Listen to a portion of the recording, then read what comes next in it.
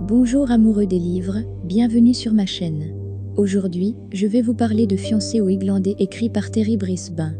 Le style d'écriture de Brisbane est fluide et immersif, avec des descriptions détaillées qui permettent de visualiser les paysages somptueux des Iglands et de se plonger dans l'univers de l'époque.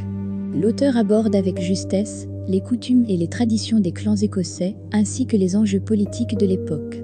Les personnages de Caitlin et de son fiancé, Connor, sont très bien développés, avec des personnalités complexes et nuancées.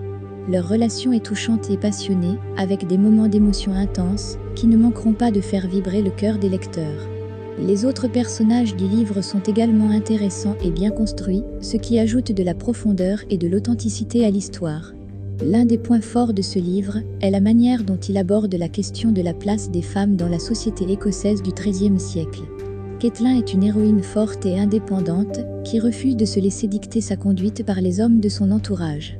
Son évolution au fil du roman est très bien décrite, avec des moments de doute et de remise en question qui la rendent encore plus attachante. Enfin, ce livre est une véritable ode à l'amour et à la passion, avec des scènes romantiques et sensuelles qui raviront les amateurs de romances historiques. Les rebondissements et les péripéties sont bien dosés, ce qui permet de garder le suspense jusqu'à la fin. Dans l'ensemble, je recommande vivement Fiancé aux Iglandais à tous ceux qui aiment les romans historiques passionnés et immersifs, qui abordent avec justesse les enjeux de leur époque.